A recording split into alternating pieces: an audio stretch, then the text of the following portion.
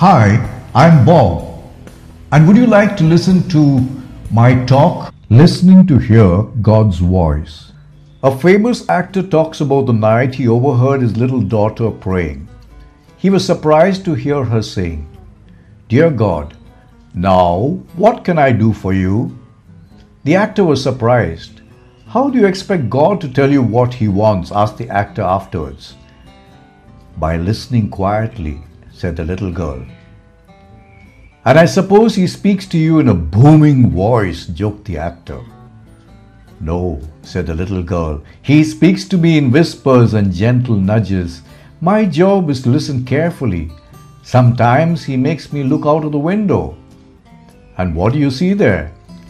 I see our maid sobbing. So I just go down and put my hand round her.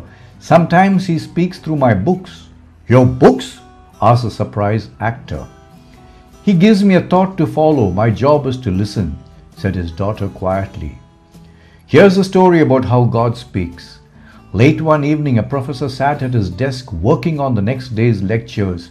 He began to throw them in the wastepaper basket when one magazine, not even addressed to him but delivered to his office by mistake, caught his attention.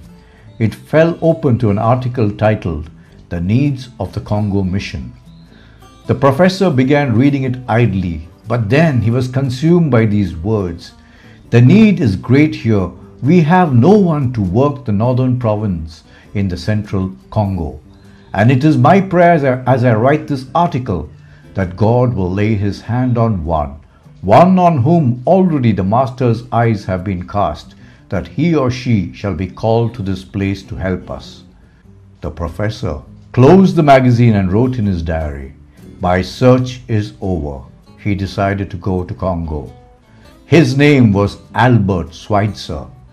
That little article, hidden in an old magazine, was placed by accident in his mailbox.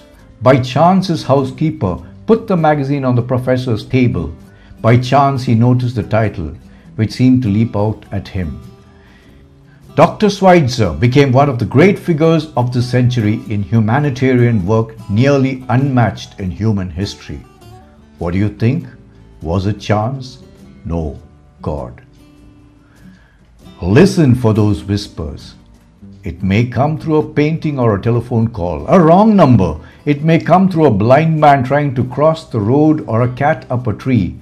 Just tonight, change your prayer to Dear God, what do I do for you? And then listen like crazy. Thank you. This is Bob signing off.